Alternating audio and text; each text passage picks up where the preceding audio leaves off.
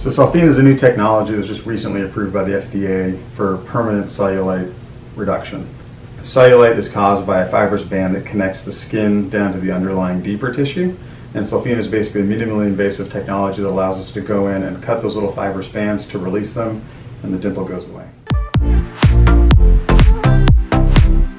So Cellfina is an in-office procedure. It's done under local anesthesia. Uh, the entire procedure takes about 30 to 45 minutes depending upon how many areas that we're treating. Um, and it's just done in the office and then I go home the same day. The recovery for Cellfina is quite short. Um, typically what I recommend is people come in on a Friday, um, get their procedure done sometime in the morning, and worst case scenario, you'll feel fine by Monday. Um, most people are starting to feel fine by Saturday evening or Sunday morning.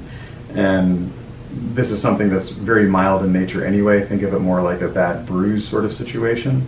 Um, something that we treat with Tylenol or, or Advil. This isn't anything that requires prescription pain medicine or something where uh, you're very uncomfortable for uh, any significant period of time. The results from Cellfina uh, present pretty quickly after the procedure.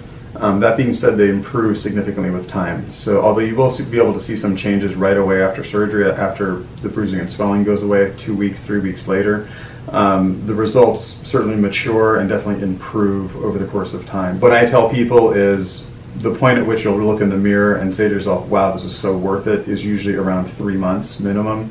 Um, that being said, the patients who are happy at three months are even happier when it gets to one year or even two years later.